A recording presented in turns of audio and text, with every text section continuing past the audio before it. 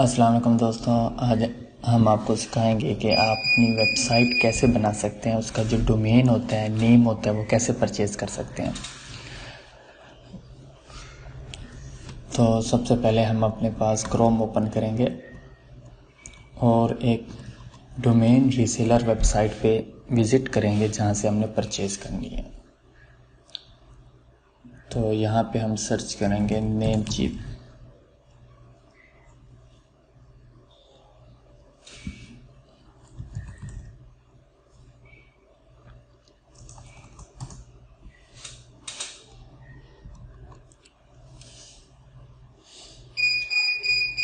Name chip के बाद हमने ये शेयर होस्टिंग है। हमने सिलेक्ट करना है डोमेन डोमेन नेम सर्च पे जाएँगे।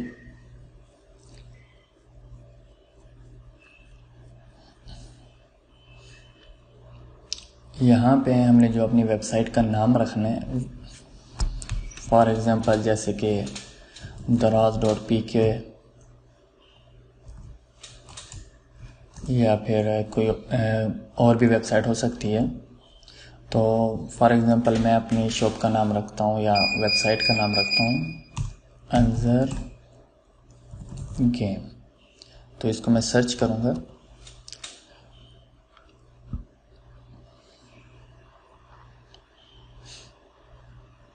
ये जैसे कि दिखा रहा है कि अंजर जी डॉट मी में अवेलेबल है और ये आपको मिलेगा five point double eight eighty dollars का।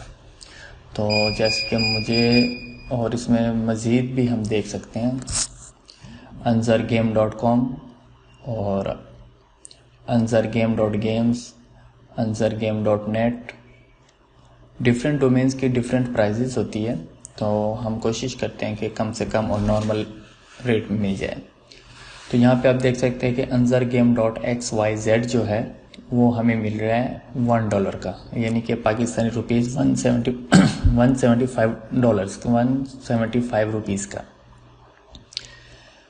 तो हमारे पास जो है, हमारे अकाउंट में फाइव डॉलर्स अवेलेबल हैं तो हम उस रेंज से जो है कोई सिलेक्ट करते हैं। और मैं सिलेक्ट करता हूँ नेचर वाइज जो है वो डोमेन मेरा बनता है अंजर गेम डॉट शॉप तो मैं इसको परचेज़ करूँगा। तो इस पर क्लिक करते हैं।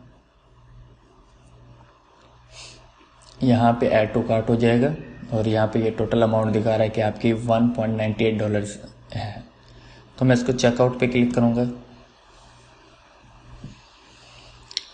यहाँ पे आपको डिटेल शो करेगा कि जो डोमेन रजिस्ट्रेशन है, उसकी जो ड्यूरेशन है, जो मतलब कितने वक्त के लिए आप उसको रजिस्टर्ड कर रहे हैं।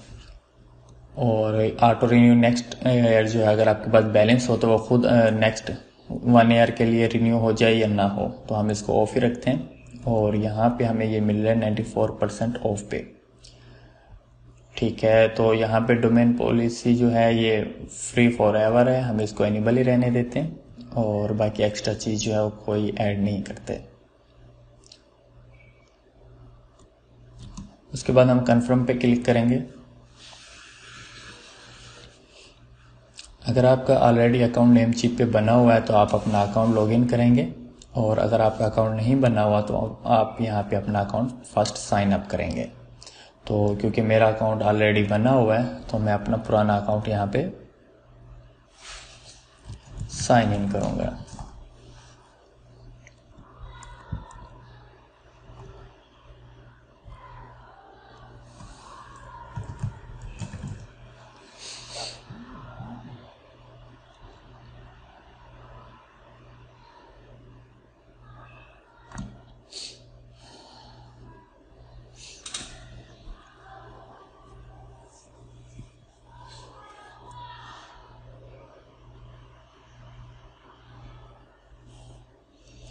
यहाँ पे हम यूज़र नेम को कॉपी करेंगे।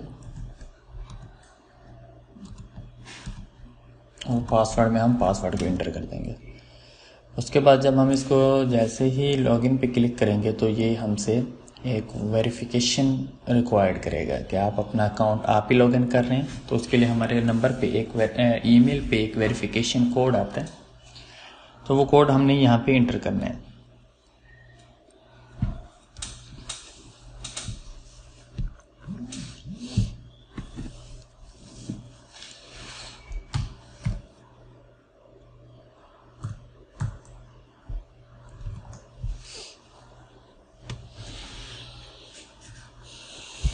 यहाँ पे आप देख सकते हैं कि मेरा जो अकाउंट है वो यहाँ पे अशफाक अली के नाम से वो लॉगिन हो चुका है।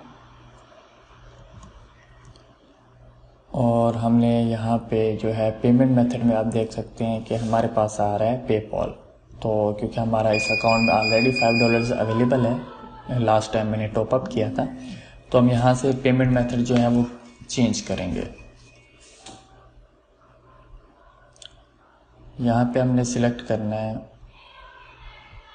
अकाउंट फंड्स को।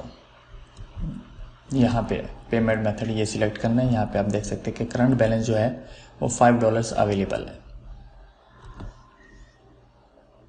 Save configurations and continue.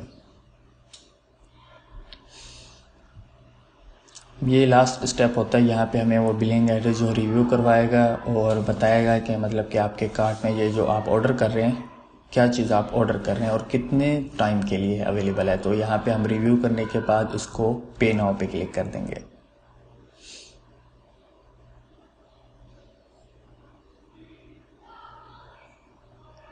यहाँ पे आप देख सकते हैं कि हमारा जो ऑर्डर है, जो हमने डोमेन प्रोसेस किया है, वो इन प्रोसेस है। यानी कि वो परचेज़ हो रहा है सिस्टम की तरफ़ से। पेमेंट ऑथोराइजेशन हो रही है। यहाँ पे आप देख सकते हैं कि जो हमारा डोमेन है, वो सक्सेसफुली परचेज हो चुका है और ये हमारा ऑर्डर नंबर है।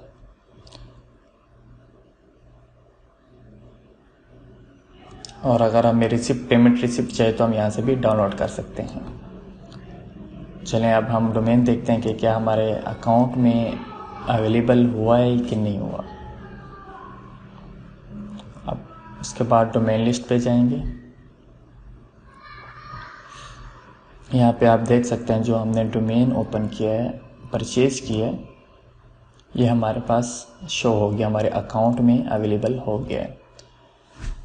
तो हम इसको टेस्ट के लिए लिखते हैं कि हमारे पास क्या पेज शो होता है।